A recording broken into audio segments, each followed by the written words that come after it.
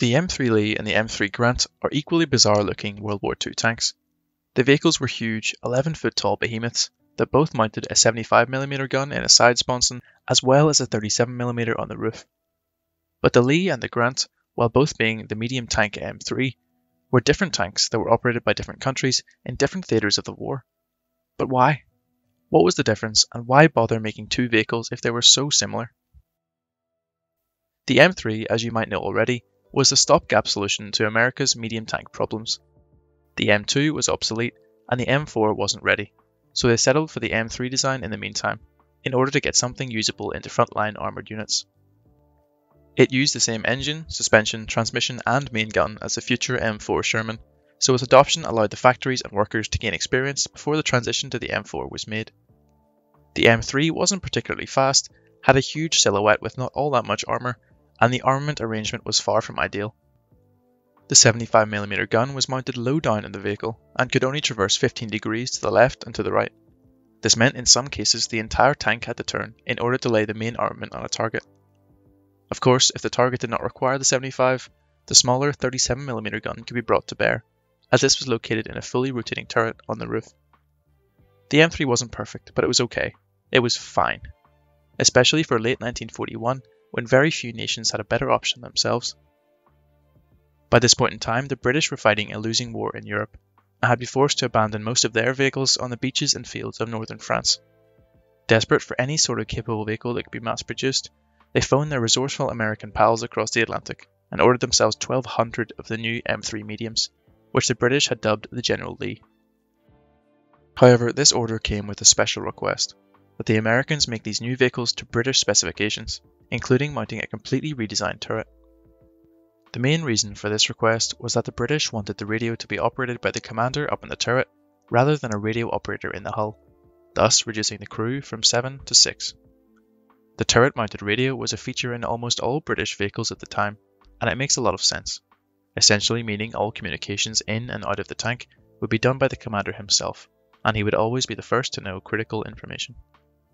But radios in the year 1941 were not small. This meant that the entire turret had to be redesigned with a new casting to incorporate the radio into the back. And if you're casting a new turret anyway, why not make some more changes? First to go was the commander's machine gun turret on the roof. In the new design, it was replaced with a simple split hatch, the addition of the radio to the commander's position made his job hard enough without having to worry about using a machine gun. Instead, a 2 inch smoke bomb thrower was added to the turret, along with a smoke bomb stowage rack. The British turret, referred to in American documents as the radio turret, would also mount a loader's periscope. The British wanted to add a loader's hatch as well, but the Americans drew the line here, already frustrated at the amount of time the modifications were taking, as they wanted production to start as soon as possible. The new turret had a thicker armour than the original M3, with the original having 51mm of protection at the front and the British design having 76mm. The sides and the rear were kept the same, at 51mm, but the curved sides of the radio turret give it a slight advantage. The top armour was increased as well, from 22mm to 32mm. The Brits would dub their version the General Grant, after Ulysses S. Grant, former US President and Union Civil War general. Grant was a historical rival to the Confederate General Robert E. Lee, the name they had given to the original. The brand new Grant tanks would be sent into action as soon as May 1942, facing Hitler's Afrika Korps in the Libyan desert. And they performed pretty well. Against German and Italian tanks of the period, the 75mm packed a punch, and the armour was solid, especially at range. They were a big change from the small cruiser tanks the Brits were used to, however. One British tank commander tried his best to summarise his combat experience in an M3 Grant during this period. The 75 is firing. The 37 is firing, but is traversed round the wrong way. The Browning is jammed. I am saying driver advance on the A set, and the driver, who cannot hear me, is reversing.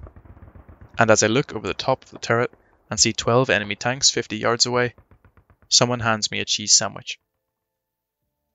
The Brits would primarily use the M3 Grant in Africa, but many units would end up mixing in M3 Lees when the grants weren't available in large enough numbers. Grants would be shipped to the Pacific Theatre to protect Australia and would fight the Japanese in Southeast Asia. But by the time the war reached mainland Europe, all of these vehicles would be replaced with newer tanks, like the Cromwell, Churchill, or Sherman. So, to answer my question from the start of the video, the Lee and the Grant were essentially the same vehicle, with a different turret that better suited each country's needs. In British service, both the Lee and the Grant would be fitted with larger mudguards and side skirts, which the Americans didn't bother with. There are actually a whole host of little differences between the two vehicles that I don't really have time to get into, but I'll leave a link to this brilliant website in the description if you want to know more. Interestingly, the Americans may have seen that the British turret was somewhat superior, because the production M4 Sherman turrets were of similar shape and also replaced the commander's cupola with a split hatch. The loader's periscope was included from the beginning, and the loader's hatch was added soon after. Maybe those Brits with their irritating modification requests might have known their stuff after all. I hope you enjoyed the video. I really appreciate all the support. If you're not already subscribed and want to see more content from me, it would be great if you consider subscribing down below. I have another long form video planned for next time, so I'll hopefully see you then.